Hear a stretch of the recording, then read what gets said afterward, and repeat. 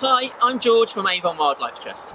Thank you so much for taking part in this year's Bulbtober event, an event where we're trying to get as many people as possible to plant bulbs and wildflowers throughout October. And this is a really important event because unfortunately we now know that over 40% of insects face extinction. So by planting these bulbs and wildflowers, you're providing a food source and a habitat for these endangered insects. It's also really important for us as well, as over 70% of the food that we eat relies on insect pollination. In your packs from Avon Wildlife Trust, you'll be receiving some crocus bulbs, which are really good because they flower nice and early in spring, about February and March, providing an early food source for insects. And you've also got some wildflowers grown right here at Grow Wilder. And these native species of wildflower are really good for our local wildlife.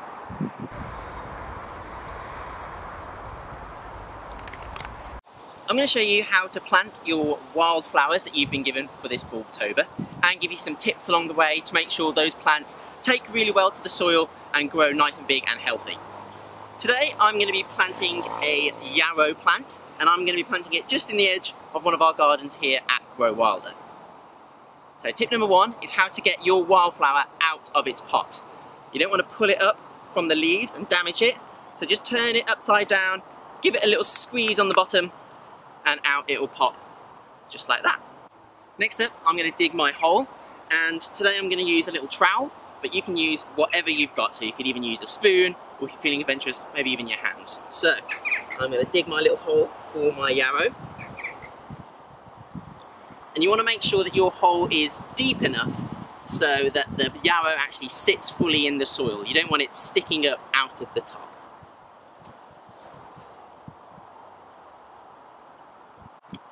Another tip is when you dig your hole, just loosen up the soil at the bottom and this will allow the roots to spread out once you've planted it.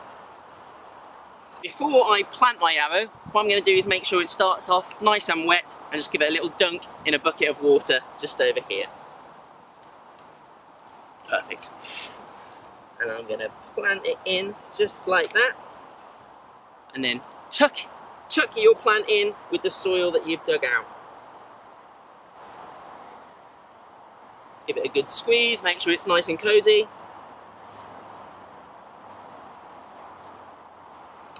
And done.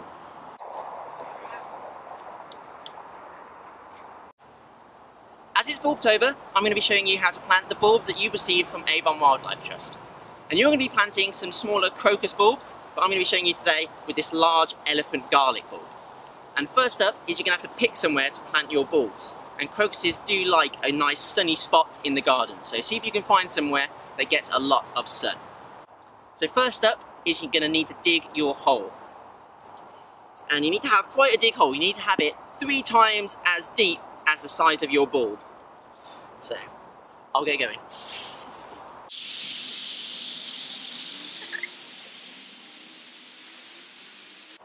There we go, I've dug my hole. And now I need to find out which way to plant my bulb.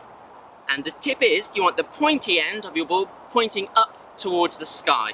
So I'm going to plant it in just like this. And then fill it in. And there you go. Thank you for getting involved with this year's Bulbtober event and we're really sorry that we can't be with you in person to help you do your planting of your bulbs and your wildflowers but we would love to hear your stories and see some of the photos that you've taken on the day so please do share those with us. And if you want to know more, visit the Wildlife Trust website and search the campaign Action for Insects or if you want to get involved, please get in touch with us at Our Bright Future at avonwildlifetrust.org.uk. Thank you.